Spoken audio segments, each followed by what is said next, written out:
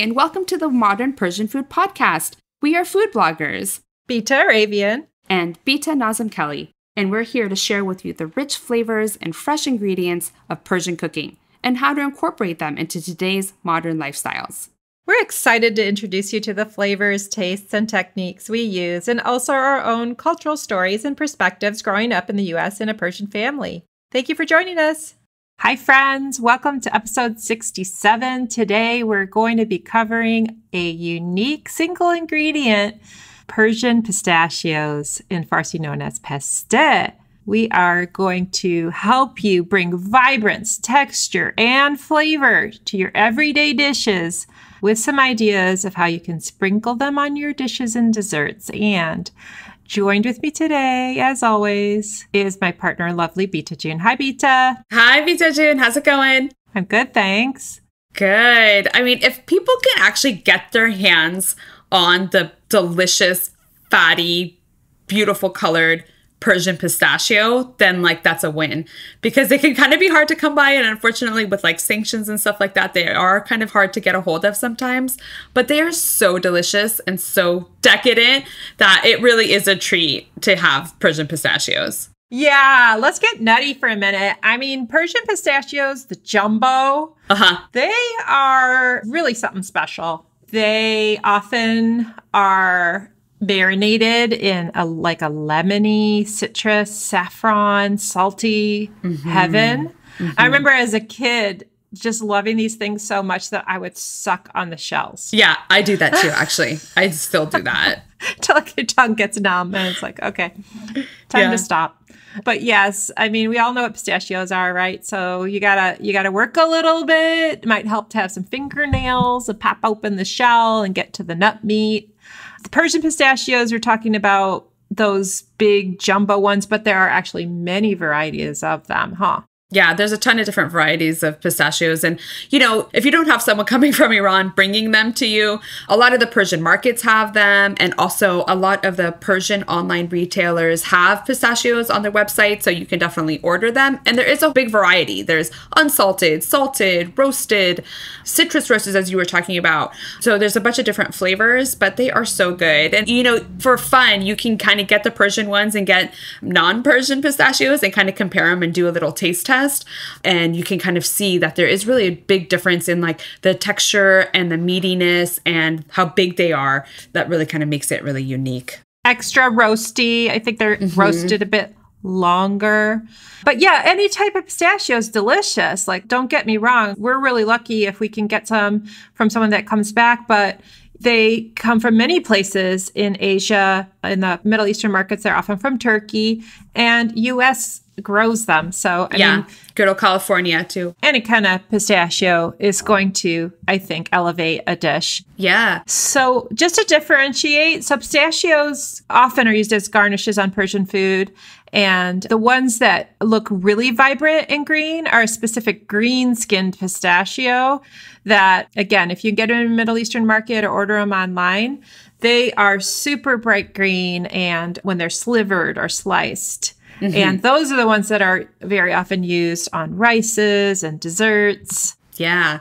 A lot of times the way that we eat pistachios is just in a bowl. You know, it's it's served by itself like in a big bowl, usually when you have guests. So they are delicious just on their own. But to your point, if you want to elevate a dish or include a little bit of more texture or a little bit of color, pistachios are great.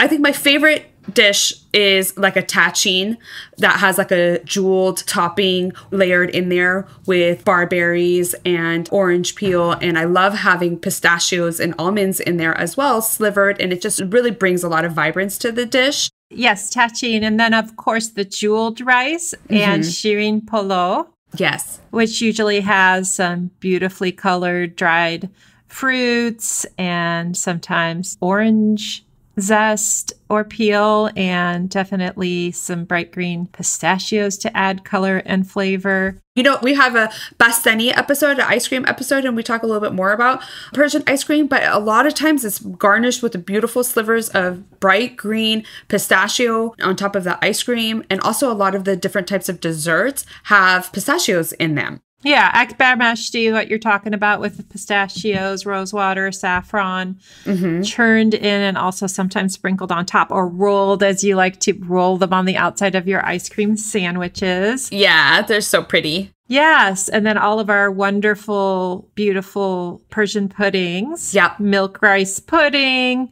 yakh dar behesht, which translates as ice in heaven, Mm-hmm. and baklavas have a variety of nuts, but oftentimes pistachios, both inside and sprinkled on top. Right. So, you know, some of the puddings that you were talking about, also like the halva, there's usually some sort of like decoration on top, and a lot of times there's pistachios. Same thing with like the sholeh zard, which is the saffron rice pudding. A lot of times there's actually like beautiful designs made with the slivered pistachios and also slivered almonds, and a lot of times with ground cinnamon. There's either a design or sometimes they'll even have like writing with the cinnamon. So you can actually like sprinkle the cinnamon very carefully in between your fingers. You can actually draw letters or characters. Yeah, and sometimes they'll use stencils where they sprinkle in mm-hmm. cinnamon using stencil in beautiful designs. Yeah, so I think that pistachio lends really well with dessert because it's a sweeter nut too, so it just kind of goes with desserts. And you can put them on any kind of dessert and sprinkle them on your cakes, on any type of ice cream or fruit. Yeah, that's delicious. And for anyone who's interested, we do have an episode on Persian nuts that we'll link back to in the show notes if you want to learn more about other types of Persian nuts. But pistachio really is a, a versatile nut that not only brings a bright pop of color, but it has a great texture and super delicious taste, a very fatty nut. So it does bring some of the extra fattiness that makes it like so unique and rich and luscious. The best place to keep a nut that has a really high fat content is to keep it in the freezer or the refrigerator so that it doesn't spoil. It's great. It's a lot of fun. You can add them. You know, I make my pomegranate glazed chicken wings and I love garnishing it with pistachios on top. It has like a really good contrast of color.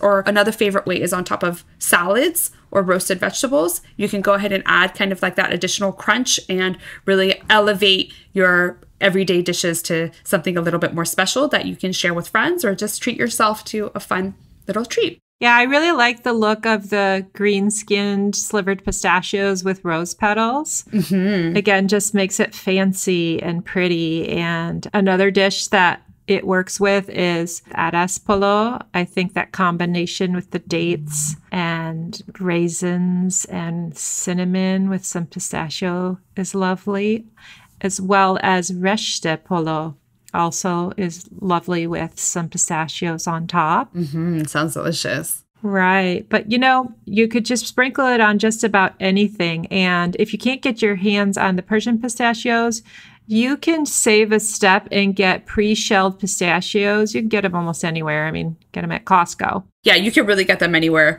these days if you're not looking for the specific Persian variety. And if you do get the plain one and you want to try to roast your own, it's actually super simple if you want to do it in the oven.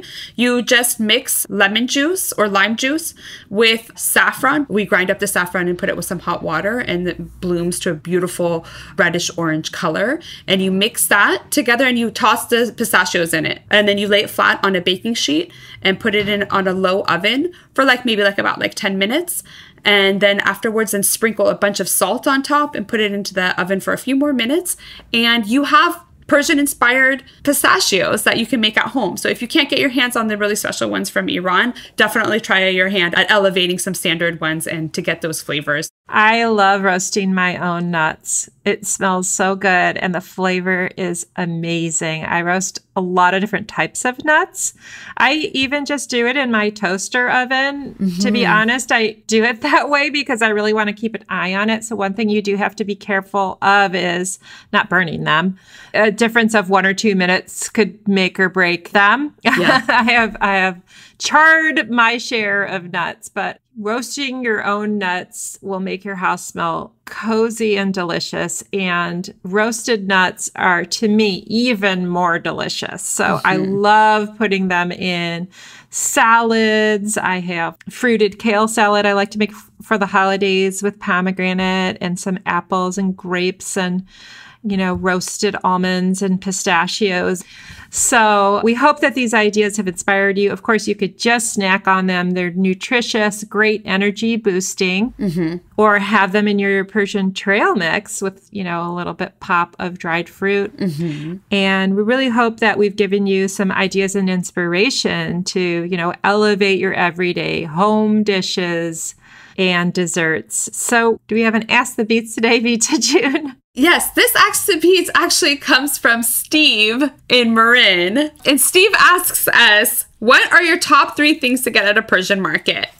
In today's Persian markets, it's either in person or you can get your online Persian market as well for people who don't have a real brick and mortar Persian market and close by. But totally. What are three things that you get from a Persian market, Bitaja? You're lucky enough that you have a bunch of Persian markets near you. So you probably have specific things for specific markets too. I am blessed with an abundance of Persian markets, both in Northern California Bay Area and in Orange County. So, yeah, when I go in, find myself there, I'm going to get jam because mm-hmm. I love the variety of jams mm-hmm. Persian jams, Turkish jams, Greek jams. I'll probably get cherry. I'll probably look for rose, and I might even get be, mm-hmm. which is quince. So definitely Persian jam. Then I will look for doogh, and we like oh, the right. mint doogh, and that's the kind of carbonated, yogurty, salty Persian drink. Mm-hmm. And up here, I'll probably get like a little six pack of them. If I was down south, I might get a like a quart or a liter. They actually oh, sell them that fun. way. But yeah, we drink a lot of doogh. It's really good. And then the other thing is that our markets usually have ready made food. I can't resist but get some kebab or a khoresh. Mm-hmm. So that's what I usually go home with.